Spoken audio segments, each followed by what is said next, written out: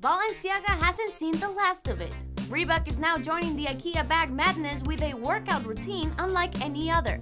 After everyone freaked out when the fashion company came up with a nearly $2,200 bag that was basically IKEA's 99 cent Frakta bag, Balenciaga was trolled on social media with high concept, low budget, blue bag creations. Everything from boots to sandals to hoodies to the revolutionary IKEA thong. Really, who doesn't want one of those? Now Reebok is taking the craze to an entirely new level with a workout routine using the 99 cents bag as weights. Reebok trainer Andrew Connor, who probably never could imagine he would be stuck showing you what to do with two shopping bags, goes all out, bringing new meaning to shop till you drop. Try deadlifts with two shopping bags filled with heavy items, or the ladder hopscotch just by folding the IKEA bag, which by the way is a hassle. If you manage to get it done, try out the plastic back twist to strengthen your core. Of course, don't forget your lunges and your push press. After all, all you need is $1.98. Balenciaga is probably going, what the frakta?